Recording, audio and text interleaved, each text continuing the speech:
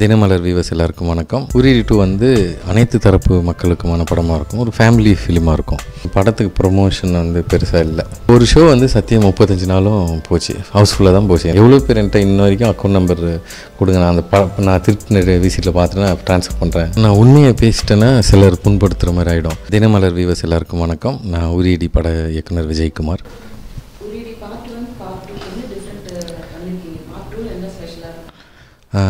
உரியடி பார்ட் டூவில் வந்து எமோஷன் அதிகமாக இருக்கும் ஒரு உரியடி ஒன்று வந்து ஒரு இளைஞர்களுக்கான ஒரு படமாக எடுத்திருந்தது.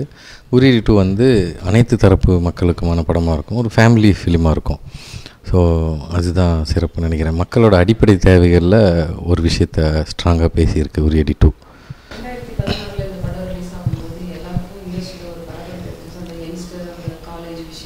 ரெண்டாயிரத்தி ஸோ சொல்லுங்கள் இது எப்படி இந்த இடைவெளி ரெண்டாயிரத்தி பதினாறுக்கும் இந்த ரெண்டாயிரத்தி பத்தொன்பதுக்குள்ள காலகட்ட இடைவெளி ஏன் அவ்வளோ டைம் எடுத்துக்கணும் அஹ் உரியடி முடிஞ்சதுக்கப்புறம் இந்த உரியடி டூவுக்கான தீம் வந்து ரெண்டாயிரத்தி பதினொன்றில் எழுதுனது தான் அது உரியடியில் அக்காமடேட் பண்ணியிருந்தது. பட் அது கொஞ்சம் பட்ஜெட் கொஞ்சம் அது கொஞ்சம் அதிகமாக இருக்கும்ன்றது தோணுச்சு. ஸோ அதனால் அதை எடுத்துட்டது. அது அப்புறம் அது நியாயம் சேர்க்க முடியாதுன்ற மாதிரி ஒரு சூழல் அப்போ ரெண்டாயிரத்தி பதினாறில் உரியடி முடித்த உடனே அடுத்த படத்தில் அதை இன்க்ளூட் பண்ணலான்னு ஒரு ஐடியா இருந்தது. உரியடி டூவை போகலான்ட்டு உரியடி டூ வந்து உரியடி ஒன்னோட எக்ஸாக்ட் சீக்வல் கிடையாது. அதில் இருந்த சாராம்சங்கள் இதில் இருக்கும். ஸோ அதுக்கப்புறம் எழுதுனது ஒரு வருஷம் எழுதுனேன். அதுக்கப்புறம் அது சரியாக சரியான ஒரு இடத்துல தான் பண்ணணும். அவ்வளோ உழைப்பு நம்ம ஒரு படத்துக்கு இப்போ பண்ணும்போது விரும்பி பண்ணோம். நம்ம படைப்பை புரிஞ்சிக்கிறதா புரிஞ்சிக்கிட்டு நமக்கு சப்போர்ட்டிவாக இருக்கிற ஒரு சூழலில் அதை நல்லபடியாக வெளியே கொண்டு போய் மக்கள்கிட்ட சேர்க்குற மாதிரியான ஒரு ஒருத்தங்களுக்கு பண்ணோம். அப்படி ஒரு சூழலில் தான் படம் பண்ணணுன்னு இருந்தேன். அந்த சூழல் வர வரைக்கும் வெயிட் பண்ணிட்டு இருந்தது. நடுவில் சில ஆஃபர்ஸில் வந்தது கொஞ்சம் நாள் நிறையவே ஆஃபர்ஸ் வந்தது. நடிக்கிறதுக்கும் சரி டைரக்ட் பண்ணுறதுக்கும் சரி. பட் நான் இந்த படம் தான் பண்ணோம். அது சரியான ஒரு சூழல் அமையட்டுன்றதுக்காக தான் காத்திருந்து பண்ணது. எழுதுனதே ஒரு ஒரு வருஷம் ஆச்சு. ஒரு ஃபஸ்ட்டு வருஷம் தான் டூ தௌசண்ட் சிக்ஸ்டீனில் இருந்தது. ஒரு ஒரு ஆன் அண்ட் ஆஃப் ஒரு ஒரு வருஷத்துக்கு மேலே எழுதுனது இருந்தது. இப்போ அதை எக்ஸிக்யூட் பண்ணுறதுக்கு ஒரு ஒரு வருஷம். ஸோ நடுவில் ஒரு கிட்டத்தட்ட ஒரு வருஷம் காத்திருப்பு அப்படின்ற மாதிரி ஒரு சரியான சூழல் அமையட்டும்னு பார்ட் ஒன்று பொறுத்த வரைக்கும் இன்ஜினியரிங் ஸ்டூடெண்ட்ஸ் அவங்க ஹாஸ்டல் லிவிங்ஸ் இதெல்லாம் எடுத்துருந்தீங்க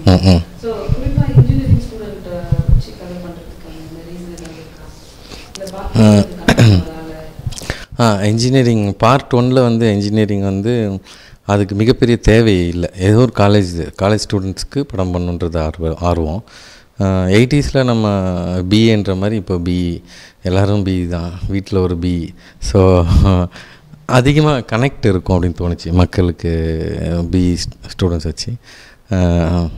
அதுதான். ப்ளஸ் மெட்டலஜி டிபார்ட்மெண்ட்டை ஒரு முக்கியமான விஷயத்துக்கு யூஸ் பண்ணியிருப்போம். ஸோ நானும் மெட்டலஜிக்கல் ஸ்டூடெண்ட் அடிப்படையில். ஸோ அந்த ஒரு யதார்த்தம் கொண்டு வரலான்றதுனால தான். உரிடி டூவில் இன்ஜினியரிங் முடித்த ஒரு பையன் படித்து முடித்த ஒரு பையனை பற்றி படம் அந்த கதை நாயகனா. ஸோ இதில் ஸ்ட்ராங் கனெக்ட் இருக்குது ஏன் இன்ஜினியரிங்ன்றது ஒரு ஸ்ட்ராங் ஸ்ட்ராங் கனெக்ட் இருக்குது ஒரு கெமிக்கல் இன்ஜினியரு ஸோ அதில் கதையில் ஒரு ஸ்ட்ராங் கனெக்ட் இருக்குது அதனால் நிறைய வெரைட்டி ஆஃப் இன்ஜினியரிங் இருந்தால் கூட பர்டிகுலராக நீங்கள் கெமிக்கல் இன்ஜினியரிங் எல்லா விஷயத்துக்கும் சம்மந்தம் ரிலேட்டட் ஆ இருக்குங்க இருக்குது இருக்குது பார்ட் ஒன் படம் ஒன்று எடுத்துட்டோம்னா நீங்களே நடிச்சு படம் இயக்கி அப்புறம் மியூசிக் வேற கொஞ்சம் பண்ணிருந்தீங்க. So, இதெல்லாம் தவிர்த்து பார்ட் டூல என்ன இருக்கு அதாவது விஜய் வ- கோவிந்த் வசந்த் மியூசிக் இந்த மாதிரி சேஞ்சஸ்லாம் இருக்கா ஆ இருக்குது டெக்னீஷியன்ஸ் இருக்காங்க. மியூசிக் ஃபுல்லாக பிஜிஎம் அவுட் பண்ணார். உரிடி ஒனில் பிஜிஎம் நம்ம பண்ணோம். இதில் ப்ராப்பரான மியூசிக் இருக்குது உரிடி ஒனில் நம்ம பண்ணணுன்றதுக்காக பண்ணல. பண்ணப்பட வேண்டிய சூழல் அது. ஸோ அழைத்து வரவில்லை இழுத்து வரப்பட்டேன்ற மாதிரி தான் அது. ஸோ அப்போ ரெண்டு மியூசிக் இருந்தாங்க. கம் கமிட் பண்ண முடியல அவங்களால போயிட்டாங்க. ஸோ அப்போது நம்ம பண்ண வேண்டிய மாதிரி இருந்தது. ஸோ பண்ணி தான் நான் யார் யார்கிட்டயே கொடுக்குறத விட என்னால் பண்ண முடியும்னு தோணுச்சு. உரியடி டூவில் வந்து லிரிக்ஸ் பண்ணியிருக்கேன். ஸோ மியூசிக் பண்ணல லிரிக்ஸ் பண்ணியிருக்கேன். நீங்களே நடிச்சு போன படம் பண்ண மாதிரி பண்ணா ஒன்று உடம்பு மெயின்டைன் பண்ணணும் நிறைய ரெஸ்ட்ரிக்ஷன் தான். கஷ்டம். அது கொஞ்சம் கஷ்டம்.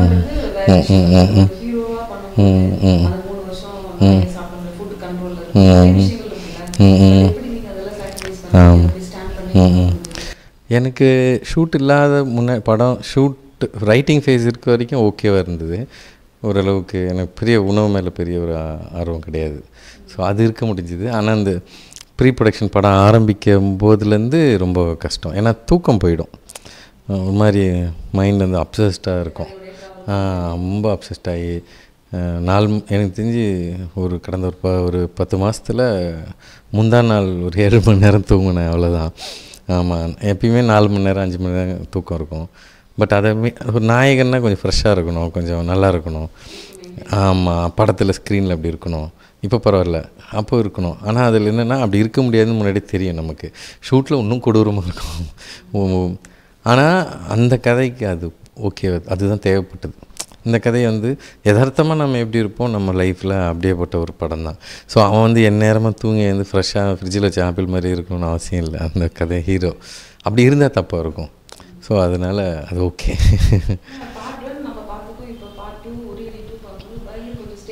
மாதிரி ம், ம், ம். அது என்னங்க உரியடியில் வர மாதிரியே ஃபஸ்ட் ஹாஃபில் அதே மாதிரி தான் இருக்கும் ஹேர் ஸ்டைல் லுக் நார்மலான தோட்டம் தான். இதில் ஸ்பெஷல்ன்ட்டு ஒன்றும் இல்லை. ஏதோ ஒரு டிஃப்ரென்ஸ் காட்ட வேண்டியிருந்தது. ஆக்சுவலாக தோற்றம் வந்து கொஞ்சம் வெயிட் போட்டோ இல்லை ஹேர் ஸ்டைலோ மீசதாடியோ ஏதோ ஒரு வித்தியாசம் காட்டியிருக்கலாம். பட் நம்ம வந்து ஒரே ஸ்கெடியூலில் ஷூட் பண்ணோம். முப்பத்தாறு நாளும் ஒரே ஸ்கெடியூல் அரை நாள் கூட லீவ் கிடையாது. டெய்லி பண்ணுவோம். ஸோ சில சீன் வந்து ஃபஸ்ட் ஹாஃப் போர்ஷனும் செகண்ட் ஹாஃப் போர்ஷனும் அடுத்தடுத்து கூட பண்ணுவோம் சில டைம் லொக்கேஷன் அவைலபிலிட்டி பொறுத்து. ஸோ அப்போ பண்ணும்போது அந்த டிஃப்ரென்ஸில் நம்ம காட்ட முடியாது. ஸோ ஏதோ ஒரு வித்தியாசம் வந்து நம்ம பாடி லாங்குவேஜ்லேயும் நம்ம எக்ஸ்ப்ரெஷன்ஸ்லேயும் சின்னதாக கொஞ்சம் முடி மாற்றியும் ஒரு தோற்றம் பண்ணது தான் சொல்லிக்கிட்ட எப்படி ம், ம். என்னன்னா நான் இது வரைக்கும் நம்ம தனியாக வெளியே போய் நம்ம அப்ரோச் பண்ணது கிடையாது. ஸோ நம்ம ஒரு நாள் யதார்த்தமாக Raja sir two D co producer இருக்கார்ல அவரு நானும் யதார்த்தமாக வேற ஒரு விஷயத்துக்கு மீட் பண்ணி பேசிகிட்டு இருந்தோம். பண்ண படம் சம்மந்தமாக இல்லை இந்த படம் சம்மந்தமாக அப்போ பேசும்போது சார் கேட்டார் இந்த மாதிரி என்ன போயிட்டுருக்குன்னு போது நான் அந்த ஸ்கிரிப்ட் முடிச்சு வச்சுருந்தேன். ஒரு டிராஃப்ட் முடிச்சு வச்சுருந்தேன். சொன்னேன் இந்த மாதிரி இருக்குது இந்த மாதிரி ஐடியா இருக்குது சார். இப்போ நான் நடிக்கலான்னு ஒரு ஆஃபர் வந்திருந்தது ஒரு பெட்டரான ஒரு ஸ்டோரியோட ஸோ அது பா கன்சிடர் பண்ணிட்டுருக்கேன்னு. ஸோ ஸ்கிரிப்ட் ஷேர் பண்ண சொன்னார். பண்ணுறீங்களான்னு அமிச்சேன் ஸோ அவருக்கு உடனடியாக பிடிச்சிருச்சு. உடனடியாக அவர் ஒரு ஒரு க்ரீன் பண்ணலாம் அப்படின்ற மாதிரி ஒரு ஐடியா இருந்தது. ஸோ உடனே சூர்யா சார்கிட்ட நரேட் பண்ணுங்கன்னாரு சார்கிட்ட நரேட் பண்ணேன். ஸோ இம்மீடியட்டாக ஸ்டார்ட் பண்ணுறேங்க பண்ணலாம் நம்ம அப்படின்னு ஒரு ஆர்வமாக இருந்தாங்க. ஸோ எனக்கு நான் எதிர்பார்த்த அந்த சூழல் என் படத்துக்கு இ- இந்த இவங்களுக்காக நம்ம உழைப்பை கொட்டலாம் தூக்கம் கெட்டு உடம்பு கெட்டு என்ன வேணால் பண்ணலாம். ஏன்னா ஆ, ஏன்னா இந்த படம் மக்களுக்கான ஒரு படம். அந்த மக்கள்கிட்ட கொண்டு போய் சேர்க்கணும். என்ன மாதிரியே அதே பேஷன் அதே அன்பு அந்த படத்து மேலேயும் மக்கள் மேலேயும் இருக்கணும் அப்படின்றது எதிர்பார்த்தேன். ஒரு ட்ரேடில் அதெல்லாம் தேவையில்லை. நம்ம அவங்களால ரிலீஸ் பண்ண முடிஞ்சால் எடுக்க முடிஞ்சாலே போதும். பட் நான் எமோஷ்னலி கனெக்டட் என் படத்தோட. அப்படி அவங்களும் அப்படி இருந்தால் நல்லா இருக்குன்ற ஃபீல் இருந்தது. இவங்க அப்படி தான் ஸோ சூர்யா சார்லாம் நிஜமாலுமே அவருக்கு அந்த ஆர்வம். நல்ல படம் தான் நம்ம டூடியில் மக்களுக்கு ஒரு நல்ல படம் தான் பண்ணோம் அப்படின்னு ஒரு ஆர்வம். ஸோ ரொம்ப சந்தோஷமாக இருந்தது. சரி பண்ணலான்னு. பண்ணோம். இப்போ வரைக்கும் ஒரு நல்ல மகிழ்ச்சியாக எக்ஸிக்யூட் பண்ணி முடிச்சிருக்கோம் முழு சுதந்திரம் கொடுத்துட்டாங்க ம், ம், ம்,